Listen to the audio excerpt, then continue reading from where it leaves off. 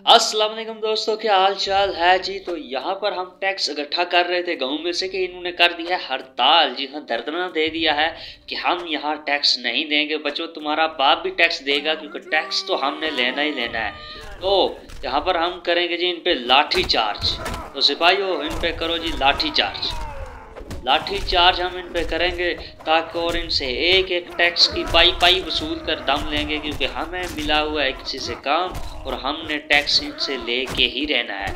तो यहाँ पर हम इनका लाठी चार्ज के ज़रिए ज़रा ए वन करेंगे, इनको बताएँगे कि ये किसके खिलाफ धरना दे रहे हैं। तो ले जी, खैर, अपने काम में मशगूल रहते हैं जी, टैक्स इकट्ठा करते हैं तो टैक्स इकट्ठा हो गया है। तो आप चलते हैं जी उसकी तरफ़, जिसने ये टैक्स इकट्ठा करने का कहा था। तो ये एक लोड है, इसे पता करते हैं जी कि वो कहाँ है जिसने हमें टैक्स इकट्ठा करने का कहा था। तो इसने एक लोकेशन बताई है, और यहाँ पर हमें फिर से डाकू मिल गए हैं। यार, इन डाकुओं ने जो है ना वो जीना हराम करके रखा हुआ है कि हर छोट, थोड़ी देर बाद इनका कोई ना कोई बंदा आ जाता है। ये बड़ा मसला है। इतने डाकू फिर रहे हैं, इतने डाकू फिर रहे हैं। यार, यहाँ की गवर्नमेंट को चाहिए कि कोई सिस्टम करें, हैं जी?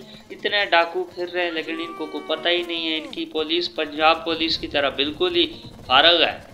यानी इतनी भी फारग नहीं है। हमारी पंजाब पुलिस फिर भी ज़बरदस्त तरीके के साथ कुछ ना कुछ एक्शन करती है और काफ़ी हद तक क्राइम पर हो चुका है। लेकिन यहाँ की तो बिल्कुल ही फारग है। यहाँ लगता है थाना वाना शाना कुख भी नहीं है। क्योंकि जारी बात है जी पुराना दौर है तो यहाँ पे थाना माना कैसे होगा? तो हम जब सल्तनत बनाएँगे तो तब कोशिश करेंगे जी कि ऐसा रोला शोला ना हो।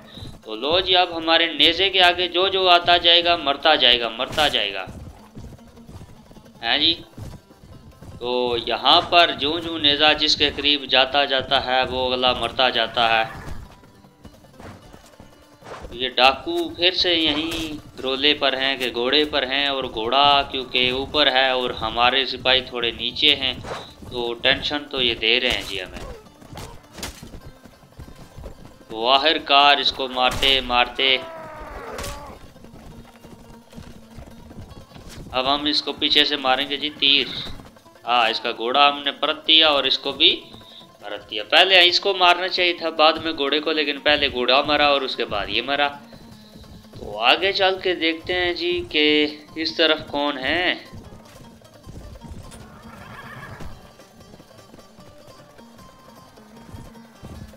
तो चलते चलते चलते चलते आखिरकार। ये कुछ इनके डाकू बचे हुए हैं, आप भी।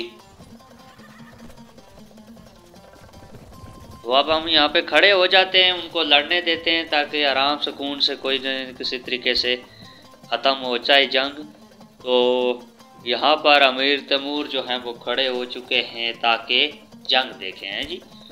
तो बाकी अमीर तैमूर जो हैं, एक इंतहाई जहीन और काबिल एहतराम जंगजू हैं और उन्होंने तकरीबन तो जंगेज़ ख़ान की तरह ही दुनिया को फतूहत हासिल करने के लिए उन्होंने बड़ी बड़ी जंगें की हैं।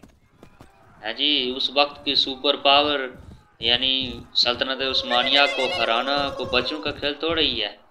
तो यहाँ पे फिर जीत चुके हैं जी, और इनसे जो कुछ लूट शूट मिला है, वो लेके हम चलते हैं समरकंद की तरफ़। तो जब हमारी सल्तनत कायम होगी तो ये समरकंद से ही कायम होगी। ताकि कोई टेंशन परेशानी ना हो, लेकिन यहाँ पर मसला ये है कि ये मंगोलों ने अपना दारकूमत बनाया हुआ है। तो बड़ा मसला है। लो जी, हमें कास्टल में जाने से ही मना कर दिया गया। है जी, ये इज़्ज़त है हमारी कि कहा गया जी कि आप किले में नहीं जा सकते। उसके लिए आपने 200 रोनन लेना है जी तो रोनन ले के फिर हम आगे देखेंगे कि क्या होता है। अभी तो ये हमें कास्टल में जाने नहीं दे रहे, लेकिन फिर हम सल्तनत बनाएँगे, आके फिर हम किसी भी कास्टल में आराम से जा सकें, यानी किले में।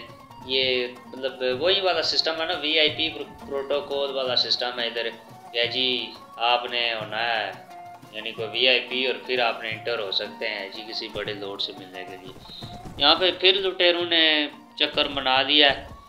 तो एक बार फिर हमें इससे जंग करनी पड़ेगी। इनको पता ही है, इन्होंने हार नहीं है, चाहे कितनी बड़ी फौज भी लेकर ये आ जाएँ। लेकिन चलें फिर इनका ये शौक़ भी पूरा किए देते हैं। And thanks for watching this video ji, आपके सपोर्ट का बहुत बहुत शुक्रिया। एंड मिलते हैं नेक्स्ट एपिसोड में एंड अल्लाह हाफिज़।